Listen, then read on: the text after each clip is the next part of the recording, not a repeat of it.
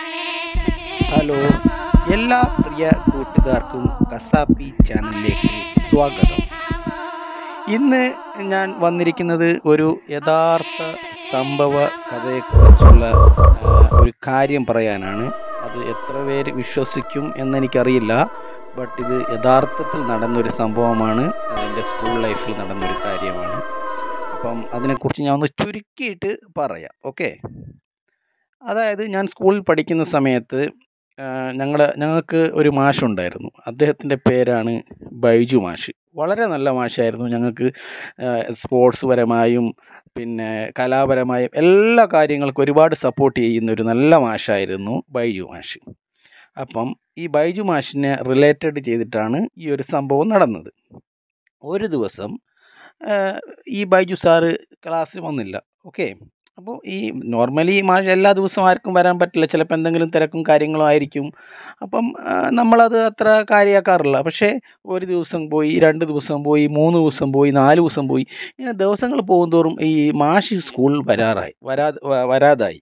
കാണാ കാണുന്നില്ല മാഷ. അപ്പോൾ മാഷിന്റെ ഒരു ക്ലോസ് ഫ്രണ്ട് ഉണ്ട്. മാഷിന്റെ കൂടെ തന്നെ സ്കൂളിൽ എപ്പോഴും വരുന്ന രവീന്ദ്രൻ സാർ എന്ന് പറഞ്ഞിട്ട്. അപ്പോൾ രവീന്ദ്രൻ സാറിനോട് ഞങ്ങൾ ചോദിച്ചു ബൈജി സാർ എന്താ സ്കൂളിൽ വരാഞ്ഞേന്ന് രവീന്ദ്രൻ സാർ പറഞ്ഞു "ആ, മാഷിന് സുഖമില്ല പനിയാണ് അതാ സ്കൂളിൽ വരാഞ്ഞേന്ന്. പക്ഷേ പിന്നെ മാഷ് സ്കൂളിൽ കാണാതായപ്പം രവീന്ദ്രൻ സാർ ഒരു കറക്റ്റായിട്ടൊരു ഉത്തരം ഞങ്ങൾക്ക് പറഞ്ഞു തരുന്നില്ല. അപ്പോൾ ഞങ്ങളൊരു ഹിന്ദി മാഷുണ്ടായിരുന്നു ഹിന്ദി മാഷ് ബാബു സാർ പേര്. അപ്പോൾ ബാബു സാറിനോട് ഞങ്ങൾ ചോദിച്ചു ഇങ്ങനെ. അപ്പോൾ ബാബു സാർ പറഞ്ഞു ഞാൻ പറയാം പക്ഷെ നിങ്ങളാരും പേടിക്കുകയൊന്നും ചെയ്യരുത് എന്ന് പറഞ്ഞു. അപ്പോൾ ബാബു സാറിന് ഈ എന്താ പറയുക ഇങ്ങനെയുള്ള ഒരുപാട് ചില കാര്യങ്ങളിലൊക്കെ പറയാൻ ഭയങ്കര താല്പര്യമാണ്.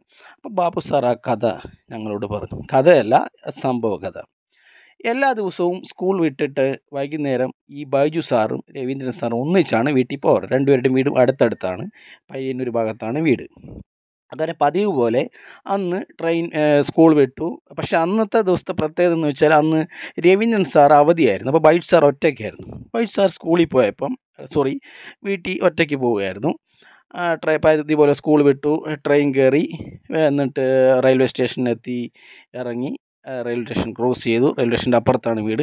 ബൈജു സാർ വീട്ടിൽ പോകുന്നു. വീട്ടിൽ പോകുമ്പം അവരെ വീട്ടിന്റെ മുമ്പിൽ വരുന്ന വഴിയുടെ മുമ്പിൽ ഒരു കടയുണ്ട്. ഒരു ചെറിയ കട. ആ കടയിൽ സത്യേട്ടൻ എന്ന് പറഞ്ഞ ഒരാൾ എപ്പോഴും ഇവർ കാണാറുണ്ട്. ആ ഇറങ്ങി സത്യേട്ടന്റെ കടയിൽ നിന്ന് ചായയും കടിയും ഒക്കെ കഴിച്ചിട്ടാണ് ഇവർ വീട്ടിൽ പോവാറ്. പക്ഷേ അന്ന് സത്യേട്ടന്റെ കട അടഞ്ഞു കിടക്കുകയാണ്.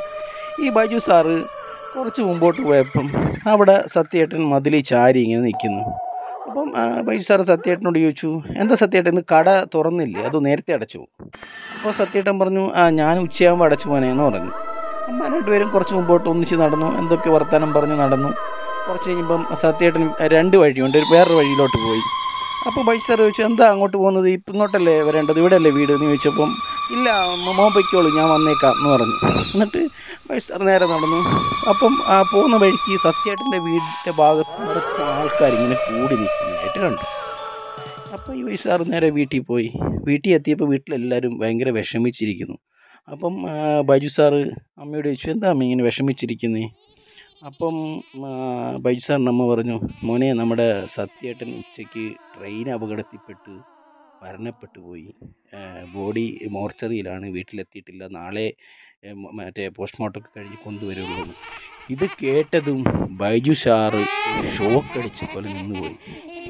ബൈജു സാർ കാര്യങ്ങൾ അമ്മയോട് പറഞ്ഞു. ഞാൻ വരുമ്പം സത്യേട്ടനെ കണ്ടൽ ഞാൻ സംസാരിച്ചിട്ടേ വന്നത്. എല്ലാവരും പെട്ടെന്ന് അങ്ങ് ഷോക്കായി. ഇതെന്താ സംഭവം? ഏ മരിച്ചുപോയ ഒരാൾ സംസാരിക്കുകയോ അപ്പം ഈ പെട്ടെന്ന് ആകെ ടെൻഷനായി ബൈജു സാർ അവിടെ ഇരുന്ന് വിയർത്തു. ആകപ്പാട് പുള്ളിക്കൊരു മാനസികപരമായിട്ടൊരു അസ്വസ്ഥതയൊക്കെ വന്നു. പെട്ടെന്ന് വീട്ടുകാർ രവീന്ദ്രൻ സാറെ വിളിച്ചു. അങ്ങനെ സംസാരിച്ച് വെള്ളമൊക്കെ കൊടുത്തു. എന്നിട്ട് പെട്ടെന്ന് പുള്ളിയെ കൊണ്ട് ഹോസ്പിറ്റലിലൊക്കെ ഒന്ന് പോയി. അപ്പം ഒരു സൈക്കാട്രിയൊക്കെ കാണിച്ചപ്പോൾ ഡോക്ടർ പറഞ്ഞു ഈ ആക്ച്വലി ഹാലുസിനേഷൻ എന്ന് പറഞ്ഞൊരു സംഭവം നടക്കാറുണ്ട്. അത് ഈ പക്ഷെ അങ്ങനത്തെ ഒരു സിറ്റുവേഷൻ എന്ന് വെച്ചാൽ മരി ഒരാൾ മരിച്ച ആളെ പിന്നീട് നമ്മൾ കാണുന്നതിനെയാണ് അങ്ങനെ ഒരു ഫീൽ വരുന്നതാണ് ഹാലുസിനേഷൻ എന്ന് പറയുന്നത്. പക്ഷേ ഇത് ഒരാൾ മരിച്ചു എന്ന് അറിയാതെ തന്നെ അയാളെക്കുറിച്ച് എന്താ പറയുക അയാളെക്കുറിച്ചുള്ളൊരു തോന്നൽ വരിക എന്നുള്ളത് അതിപ്പോഴും ഒരു സസ്പെൻസായി തന്നെ നിൽക്കുകയാണ്.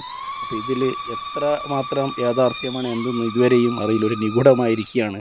അപ്പോൾ ബൈജു സാറിന് ഇനി നേരിട്ട് എപ്പോഴെങ്കിലും കാണുകയാണെങ്കിൽ അതിനെപ്പറ്റി ഒന്ന് ചോദിക്കണം. അപ്പം ഇത് കേട്ട എല്ലാവർക്കും ഒരുപാട് നന്ദി. നമസ്കാരം. ലൈക്ക് ചെയ്യുക സബ്സ്ക്രൈബ് ചെയ്യുക. താങ്ക്